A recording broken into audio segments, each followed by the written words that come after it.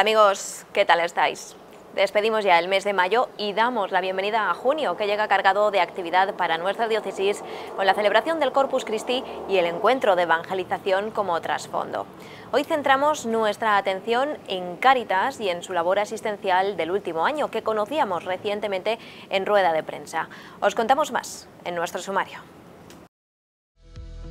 Allí donde nos necesitas, abrimos camino a la esperanza. Ese es el lema elegido por Cáritas Diocesana para presentar su memoria anual correspondiente al ejercicio pasado, donde se muestra la dificultad de las familias para acceder a una vivienda. Después estaremos en Roma para conocer la actualidad más reciente de la Santa Sede y del Papa Francisco. En nuestro espacio de actualidad diocesana nos iremos hasta Villena para vivir el cierre del año jubilar del Monasterio de las Hermanas Trinitarias y conoceremos la impresión de la doctora Pilar Calva que estuvo acompañando al Secretariado Diocesano de Familia y Vida. Aunque antes de todo eso es nuestro obispo don José Ignacio Munilla el encargado de abrir este espacio con su saludo habitual. Sigue adelante el calendario litúrgico que va marcando la pauta de la vida de la Iglesia después de haber celebrado el domingo anterior la solemnidad de la Santísima Trinidad y en ella tuvimos presente a tantos, monasterios contemplativos de la diócesis, en este domingo celebramos la solemnidad del Corpus Christi. Y obviamente es una celebración que tiene una resonancia muy especial. Eh, la procesión del Corpus Christi pues marca, marca nuestra conciencia eucarística, si Jesús está presente con nosotros y nos acompaña, ¿cómo no? ¿Cómo no mostrarlo al mundo? ¿Cómo no salir con Él a las calles? ¿Cómo no decir, Jesús está aquí y nos espera de diario, diariamente? ¿no? ¿Cómo no subrayar la importancia de la adoración eucarística? Es un domingo para que volvamos a recordar que tenemos capillas de la adoración perpetua, ¿sí? en las que queremos que la presencia eucarística de Jesucristo sea el corazón de la diócesis. El cuerpo y la sangre del Señor se nos han entregado por amor y esto tiene muchas consecuencias. Una consecuencia es obviamente la caridad, porque eh, la Eucaristía nos enseña a reconocer a Jesucristo bajo las apariencias del pan, pero también bajo las apariencias del sufrimiento y de la pobreza. Jesucristo sí está presente, escondido en quienes sufren. Y entonces por esto, por esto ligamos la jornada de Caritas al, día del Corpus Christi. Y este jueves pasado pues hemos tenido una rueda de prensa en la que, como ya es tradicional, en estas vísperas de la solemnidad del Corpus Christi, pues hemos presentado los datos de Cáritas durante el año pasado. ¿eh? Ha sido una, memoria que os invito también a poderla ver, estará, está a vuestro acceso en el canal de YouTube de, nuestra diócesis, en la que hemos, bajo el lema Allí donde los necesitas, eh, abrimos camino a la esperanza, bajo, bajo ese lema, hemos querido mostrar el rostro de la acción caritativa de la diócesis, que muchas veces no es conocido. Cuántas cosas hermosas acontecen en nuestro día a día sin que, mm, no, digo únicamente en la opinión pública, sino que incluso nosotros, muchos de nosotros que vivimos ¿no? pues, eh, pues muy pegados a la vida de la Iglesia, las conozcamos. Te invito a acercarte a esa, al contenido de esa rueda de prensa que se hizo el jueves y te invito a vivir el día del Corpus Christi con gozo, con plenitud, a renovar nuestra, nuestra vocación eucarística, a que estos niños que en estas fechas, tanto en el día de hoy como en domingos anteriores o posteriores, están haciendo su primera comunión, sean para nosotros pues, un llamado a decir, voy a recibir a Jesucristo como si fuese mi primera vez, como si fuese mi última vez como si fuese la única vez que le recibo en mi vida, con esa conciencia de que el mayor de los milagros, el mayor de los dones que Jesucristo nos ha hecho ha sido pues, quedarse entre nosotros en su presencia eucarística. Por tanto, feliz día del Corpus Christi a todos vosotros. Allí donde nos necesitas, abrimos camino a la esperanza. Ese es el lema elegido por Cáritas para su campaña de caridad, que cada año se presenta por estas fechas, coincidiendo con la fiesta del Corpus Christi. La entidad diocesana recopila y presenta su balance de datos del último año en nuestra provincia. Un balance que más allá de los números tiene en cuenta sobre todo la dignidad de las personas. Os detallamos más sobre esta memoria en el siguiente reportaje. Como viene siendo habitual cada año en torno a la festividad del Corpus Christi, Caritas Diocesana de Orihuela Alicante presenta su memoria anual. En este caso, el pasado jueves 30 de mayo, la organización hacía público este dossier informativo correspondiente al 2023 bajo el lema Allí donde nos necesitas, abrimos camino a la esperanza. El acto de presentación de esta memoria contaba con la presencia del obispo diocesano don José Ignacio Munilla, que quiso acompañar al director de Cáritas Diocesana Víctor Mellado y al secretario general Francisco Javier Rubira. Además, en esta jornada se presentaba también a don Joaquín Carlos como nuevo delegado episcopal de Cáritas de Orihuela Alicante. Fueron ellos quienes presentaron en rueda de prensa estos datos del 2023, un año marcado por la complicada situación de la vivienda y el difícil acceso a ella. En principio era más una situación de personas individuales, pero cada vez más nos encontramos en esta tónica de familias que viven en, viviendas en habitaciones compartidas. Esta memoria anual de Cáritas Diocesana de Orihuela Alicante refleja como dato más importante que más de la mitad de las familias atendidas vivían en habitaciones de viviendas compartidas y Cáritas invirtió cerca de 8 millones de euros para responder a la situación de las familias. Eh, ese dato que, es uno de los que más retumba este año es ese 56% de, de, personas a las que hemos atendido, a las que hemos apoyado, que viven en habitaciones, en viviendas compartidas. Es prácticamente triplicar el número del 2022 en el que estábamos en un 19% y hemos pasado a ese brutal 56% que, que preocupante se está llegando a normalizar, ¿no? que, vengan familias, que nos cuenten su situación y que nos digan que, viven en esas habitaciones compartidas. ¿no? Se subrayan así estas dos grandes líneas de trabajo, la lucha contra la crisis de la vivienda y la atención a familias y comunidades vulnerables que llegan de fuera de España, como señalaba Javier Rubira, secretario general de Cáritas Diocesana. Por un lado, eh, es cierto que Caritas ha atendido a más de 19.000 personas y eso significa que el número de beneficiarios, es decir, esas personas más la familia que sustenta, se acerca a, los 30, a las 39.000 personas. Pero es muy interesante, aunque ha mejorado la cifra con respecto a otros años, porque ha mejorado ligeramente la situación del empleo, seguimos observando eh, que hay factores de exclusión o de expulsión eh, de la sociedad que afectan a perfiles muy determinados. Estos perfiles son sobre todo a gente joven, familias jóvenes, a mujeres solas con hijos en su mayoría y a personas eh, recién llegadas de otros países. Un grave problema que se acentúa en nuestra provincia de Alicante, donde el buen clima y una alta tasa de turismo muestra estas realidades de forma muy palpable. Y no hay viviendas en alquiler hoy en nuestra provincia y hay zonas muy, muy tensionadas. Hay que buscar soluciones a cómo se pueden generar esas viviendas. Y a eso hacía referencia también nuestro obispo don José Ignacio, quien incidía en estos números y en la necesidad de que nuestra diócesis siga mostrándose de manera unificada desde diversos frentes para seguir ofreciendo estas ayudas. La desestructuración genera pobreza, pero la pobreza genera desestructuración familiar. ¿no? Y creo que es algo en lo que tenemos que poner, tenemos que poner el acento. ¿no? El derecho a una vivienda digna. Aunque hoy estemos presentando la memoria de Caritas, en el conjunto de la vida de la diócesis existe pues, una acción confluyente, confluyente con Caritas, con lo que son las misiones, con lo que son las migraciones. ¿eh? Hay una, yo diría, coherencia de compenetrarse eh, en una misma finalidad. Una jornada enmarcada en el Día de la Caridad, celebrado en la festividad del Corpus Christi y que mostraba así su doble propósito. Por un lado, informar a las personas vulnerables sobre dónde pueden encontrar ayuda y por otro, inspirar a la comunidad cristiana y a la sociedad en general a ser solidarios y comprometidos con la transformación social, esa transformación que abandera Cáritas de Orihuela a Alicante.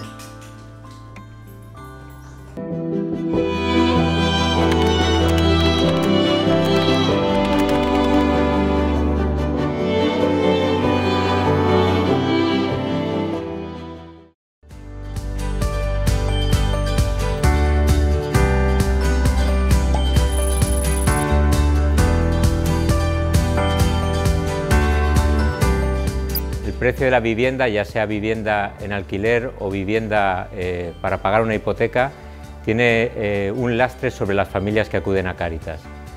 Hay una cifra que nos sobrecoge, el 56% de las personas que han acudido a Cáritas comparten vivienda con otras familias. El año anterior rondaba el 20% y en 2023 es el 56%.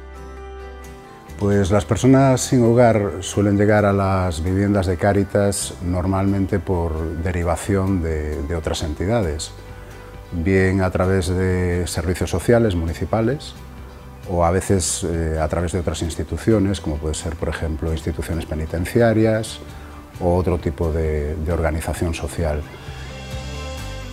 Aquí hacemos un trabajo integral con las personas, les acogemos porque la mayoría de ellos vienen en situación de calle, y eh, en muchos casos pues vienen con mucha desorganización o desestructuración personal. No tenemos una varita mágica para cambiar la vida de las personas, aunque a veces sí que existen milagros, ¿no? que, mm, piensas que una persona pues dice es imposible que pueda salir de aquí, sin embargo sale.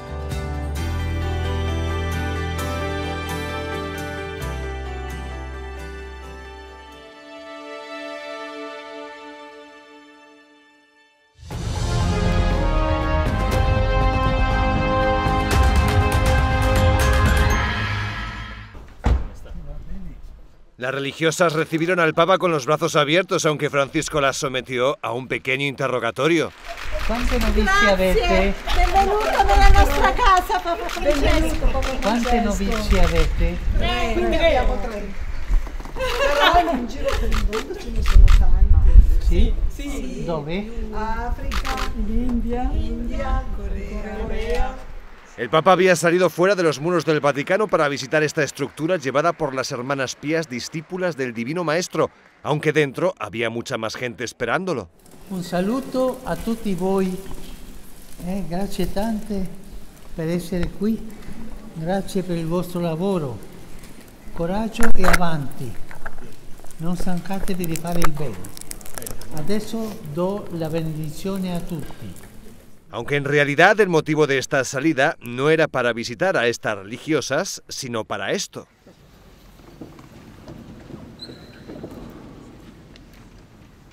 Para pasar un rato con los sacerdotes más jóvenes de la diócesis, hablaron de cómo afrontar momentos de crisis espiritual, de la sinodalidad en la propia diócesis de Roma y algunos problemas sociales de la ciudad, el próximo encuentro entre el Papa y los sacerdotes de la diócesis será con aquellos que han sido ordenados entre 1984 y 2014.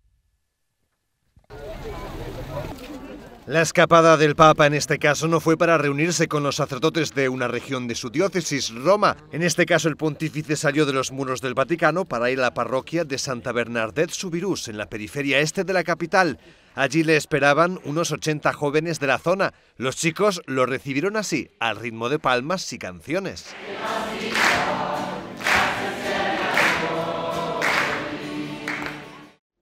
Francisco estuvo durante una hora con ellos respondiendo a sus preguntas en el que fue el segundo encuentro en preparación del jubileo. El Papa tiene pensado visitar cada mes una parroquia de su diócesis. Escuchar los testimonios de estas mujeres maltratadas me crean muchas emociones. Es algo que, que te queda para toda la vida. Imágenes, momentos de haber recibido un golpe por defender a tu madre o de verla, de verla mal, ¿sabes? Que se pueda proteger a estas mujeres y que se cuente con esa ayuda. Eso me parece excelente trabajo ahora. Descubre su experiencia en un viaje por tantos.es y marca la X de la iglesia en tu declaración de la renta. El monasterio de la Santísima Trinidad de Villena ha cerrado ya su año jubilar. Lo hacía el pasado domingo, 26 de mayo, solemnidad de la Santísima Trinidad, en presencia de nuestro obispo, don José Ignacio, y de una numerosa representación de sacerdotes de nuestra diócesis y de la obra trinitaria. También asistían a la cita representantes de salesianos de Villena, que llevaron hasta el monasterio a la imagen de María Auxiliadora. Una sorpresa les daremos y aquí la tenemos, la más noble representante de la corte celestial, nuestra querida Madre María Auxiliadora. que nos recuerda lo que dijo también en una fiesta acerca de su amado Hijo, haced lo que Él os diga. Junto a ella nos disponemos a vivir esta solemne Eucaristía. Con la imagen de la Virgen a los pies del altar, nuestro obispo presidió una multitudinaria misa en la que quiso felicitar a las hermanas trinitarias de Villena por su labor en estos 500 años. Muchas gracias, madres, una vez más, por esa maternidad hacia nosotros y por haber custodiado este año jubilar. Además, hizo una mención especial a la jornada Pro Orantibus, que también se celebraba en este mismo fin de semana. En la Iglesia formamos una comunión, un cuerpo místico, que nos sostenemos en ese don que el Espíritu Santo nos da. Y las almas contemplativas, dentro de esa gran sinfonía del cuerpo místico de Cristo, las almas contemplativas, han recibido, han recibido, como decía Santa Teresita de Lisieux, una encomienda muy especial yo seré el corazón de la iglesia, yo bombearé sangre para la vida del cuerpo místico. Pedimos a la Santísima Trinidad que, aunque hoy se cierre la puerta santa y este año jubilar se clausure, conceda a este monasterio muchos años de presencia trinitaria para que nuestra bella historia continúe y este tiempo de misericordia se vuelva a vivir en esta santa casa.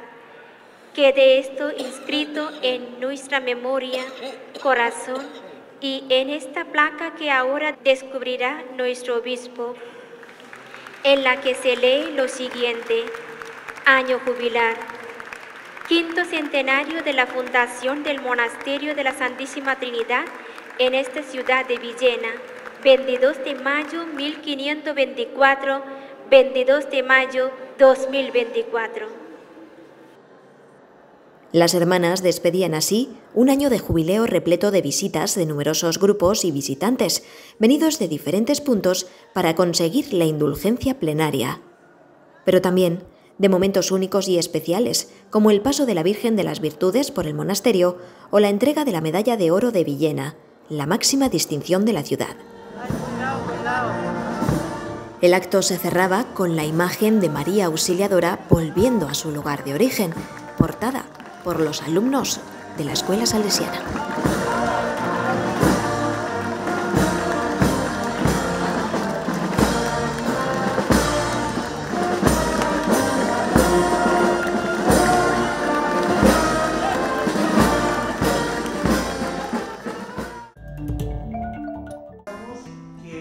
El Secretariado Diocesano de Familia y Vida continúa con su hoja de ruta durante el presente curso pastoral 2023-2024.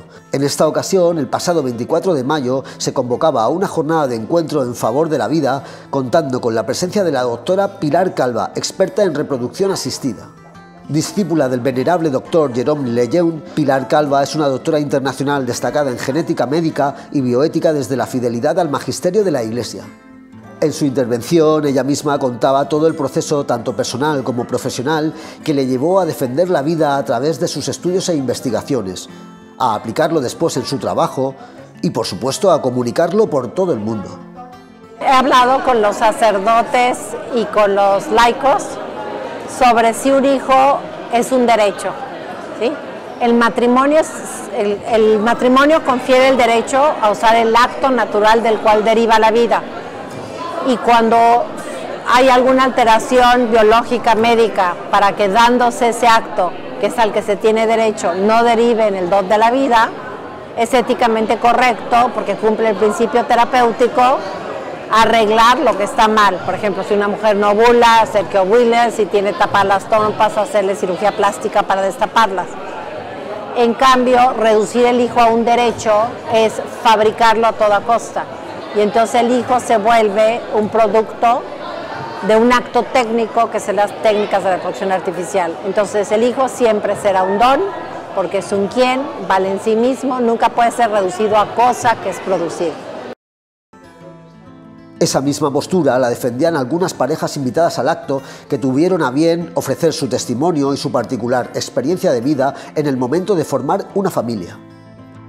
Lo que ellos no sabían es que se había activado pues, pues una alarma en la pastoral familiar y se habían puesto pues, en la labor de defender la vida. Importante que todo esto se hable para que se vea que no es un camino de rosas, que no es todo fácil, que se presentan dificultades, pero también, y ahí retomo lo que decía Consuelo, que hay mucho camino que recorrer más allá de lo que nos quieren vender hoy, que es la reproducción artificial. Y es que, como señalaba la doctora, en los tiempos que corren, la sociedad tiende a normalizar algunas situaciones de la maternidad que enfrentan la ley con la medicina genética y con la ética. El problema es que se ha confundido la ética con la ley, ¿no? Hay cosas que pueden ser legales, pero no son correctas en ética, como es matar a un ser indefenso en el caso del aborto, como es decidir qué día me matan o matar a alguien porque alguien determina que ella es inservible, como si fuera cosa, ¿no? Entonces, algo tristemente porque se van modificando el derecho romano, que es el de nuestros países, que se basaba en el derecho natural y en la ley natural, se va modificando y se vuelve legal lo que no es éticamente correcto. Nunca será éticamente correcto matar y menos, perdón, que lo haga un médico, porque los médicos por vocación estamos para salvar vidas, Entonces, la gente confunde que con que por algo, porque algo es legal o porque es un avance científico es correcto. Y la ética dice hay una metodología para estudiar cuándo un acto es correcto o no. Y esta consiste en, en que el acto humano tiene tres elementos el medio objeto, que en el caso de las técnicas es qué se hace para hacer la técnica A, B o Z, el fin, para qué lo hago, y circunstancias como de quiénes son los donadores, qué tan eficaz es, por qué se hace, y los tres elementos tienen que ser correctos para que un acto sea correcto. Entonces, ojo, que algo sea legal no lo hace correcto.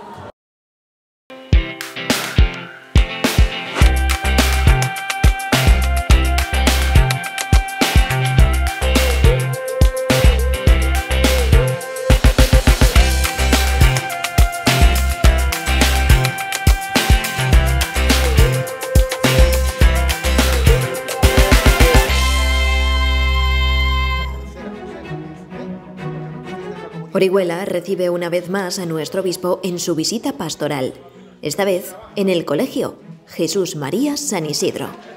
Pero unos artistas, ¿eh? Unos artistas, tú.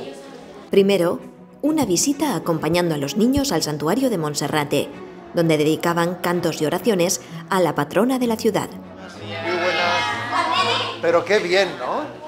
Pero qué clase tan chula tenéis. Más tarde, ya en el colegio, se encontraba con los alumnos en las aulas para conversar y responder las preguntas que habían preparado en los diferentes cursos. Yo tengo tres sobrinos nietos que son un poquito más pequeños que vosotros, y son muy, son muy majos. Uno se llama Asier, eh, la otra se llama Olaya y el pequeño se llama Daniel. O sea que les quiero mucho, porque también él, los, los curas y los obispos queremos mucho a nuestros sobrinos nuestros sobrinos nietos. A ver, ¿quién pregunta otra cosa? ¿Qué puedo hacer yo para que el mundo cambie? Has preguntado, ¿no? Pues mira, para que el mundo cambie lo que puedo hacer es comenzar por cambiar yo. Si yo cambio, alrededor mío se producirá una pequeña transformación. A ver si os parece bien, os parece mal. Un niño va con su mamá por la calle y le dice, mamá, mamá, un helado, un helado, cómprame un helado.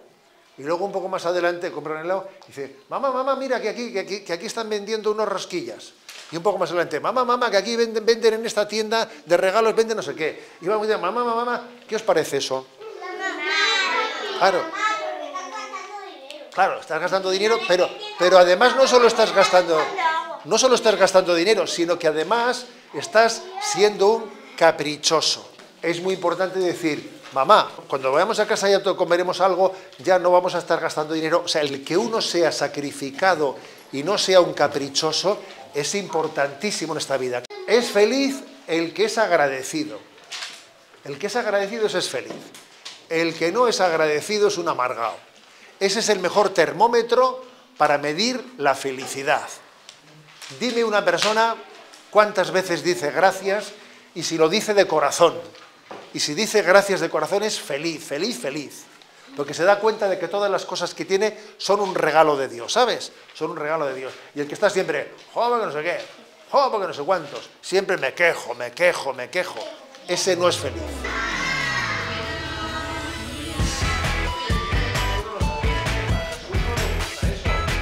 Tras conocer a los cursos superiores, se encontraba con los niños de infantil.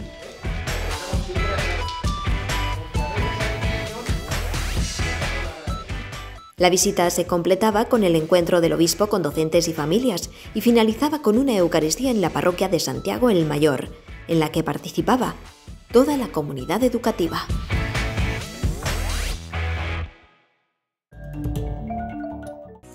Son imágenes de los alumnos de primero de bachillerato del Colegio Diocesano Santo Domingo de Orihuela portando a hombros la imagen de María Inmaculada del centro para llevarla al encuentro con la patrona de la ciudad de Orihuela. Fue el pasado 27 de mayo y el Colegio Diocesano celebraba así la primera romería al santuario de Nuestra Señora de Monserrate. Al llegar al templo se celebraba la palabra de Dios. Gracias a los alumnos, estáis portándoos de 10 y hemos hecho un camino, pero muy, muy especial, trayendo a nuestra imagen de la Inmaculada y visitando a la patrona de Orihuela. Es lo mismo que hizo la Virgen. Enseguida que recibió el anuncio de que iba a ser la mamá de Jesús, se puso en camino a servir. Además, los alumnos ofrecieron un ramo de flores a la patrona y los delegados de las clases impusieron dos becas académicas a los pies de la Virgen, dando gracias por su protección durante el curso lectivo.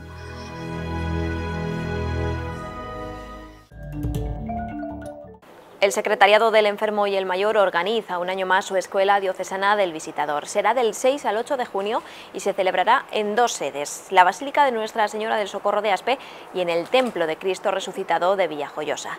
La escuela finalizará por todo lo alto el domingo 9 de junio con el Encuentro del Visitador, que se celebrará en Callosa del Segura, donde además de charlas y encuentros de fraternidad, se celebrará una Eucaristía muy especial presidida por nuestro obispo emérito, don Jesús Murgui, quien hará el rito de envío de los visitadores ya formados. Podéis encontrar más información en la página web del secretariado y con este recordatorio os decimos adiós. Nos marchamos y os emplazamos a la próxima semana. Hasta entonces, sed felices y cuidaos mucho. Del Evangelio de San Marcos. El primer día de los ácimos, cuando se sacrificaba el Cordero Pascual, le dijeron a Jesús sus discípulos, ¿Dónde quieres que vayamos a prepararte la cena de Pascua? Él envió a los discípulos diciéndoles, Id a la ciudad, os saldrá al paso un hombre que lleva un cántaro de agua. Seguidlo y en la casa donde entre, decidle al dueño. El maestro pregunta, ¿cuál es la habitación donde voy a comer la Pascua con mis discípulos? Os enseñará una habitación grande en el piso de arriba acondicionada y dispuesta. Preparádnosla allí. Los discípulos se marcharon, llegaron a la ciudad, encontraron lo que les había dicho y prepararon la cena de Pascua. Mientras comían, tomó pan y pronunciando la bendición, lo partió y se lo dio diciendo, Tomad, esto es mi cuerpo. Después tomó el cáliz, pronunció la acción de gracias, se lo dio y todos bebieron y les dijo, Esta es mi sangre de la alianza, que es derramada por muchos. En verdad os digo que no volveré a beber del fruto de la vid hasta el día que beba el vino nuevo en el reino de Dios. Después de cantar el himno, salieron para el monte de los olivos.